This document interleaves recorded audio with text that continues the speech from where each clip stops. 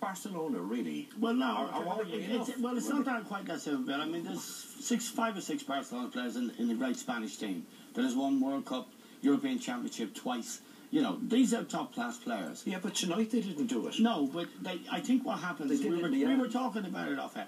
I think what happens is when you have someone of Messi's uh, ability and greatness, he you get so used to uh, reaching for him Yeah. and to picking him out. When there's nothing else on, you can stick it into him with two men around him and he'll do something. So he becomes uh, it becomes a habit.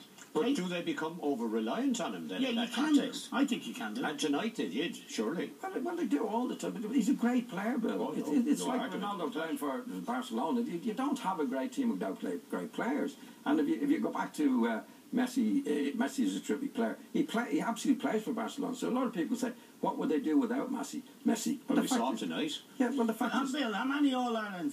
Henry Shefflin played for Kilkenny in All Ireland final. How many times? Big, big games in Croke Park. Great occasions. How many times was Henry Shefflin single handedly turned it round just by sheer force of personality and character? And Brian O'Driscoll. He's for- in Newcastle. from You asked the question, why do, well, you, Bill, you asked the question, why don't they stop him? Yeah. You can't stop him, can you, really? Everybody's tried. he's, he's in the Barcelona team. He's, he's in that class. Is he, in spite of what Ferguson says, is he the greatest footballer in the world? Yeah, for me, absolutely.